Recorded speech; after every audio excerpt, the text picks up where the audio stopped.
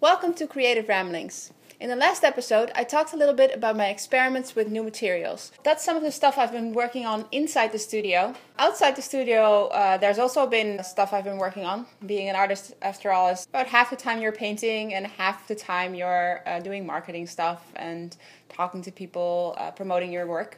And being a Dutch artist uh, in a foreign country can have some interesting challenges, I can tell you.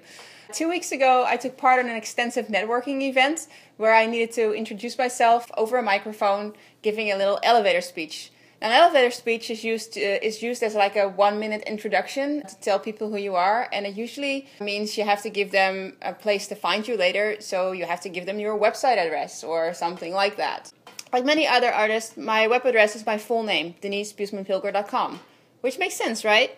Except for the fact that if you're not Dutch and I say that to you, you probably don't know how to spell that. So I figured I'd need a web address that's a little bit easier to remember. It took me quite a while to find something suitable because like obvious things like DBP Art or Art by Denise were already bought by other people, as were things like travelingartist.com and creativeramblings.com. But I think I found something that's suitable, a little bit shorter, and a little bit easier to remember. Uh, so from now on, you can all find my work at artistabroad.com. So something else that has been keeping me busy for the past couple of weeks is that is looking for other venues to exhibit my art.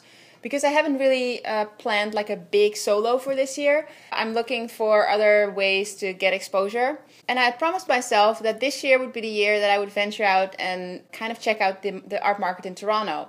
Uh, people have been telling me for quite a while that the contemporary art market in Toronto is supposedly very good. So it's um, definitely a market I would want to try to get into.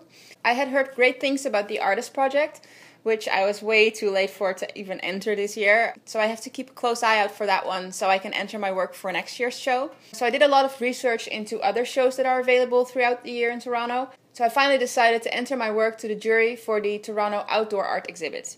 Now, the jury process for this one is very, very tough. So I hope I'm going to get in. I'm, I'm keeping my fingers crossed. I've talked to multiple artists that have been part of this show in the past, and everybody has been very, very enthusiastic about it. They uh, they have some some great reviews. Uh, the organization is great, and usually uh, the attendance is great, depending on the weather, of course. It's still an outdoor show, but I, I guess that's just a risk you have to take.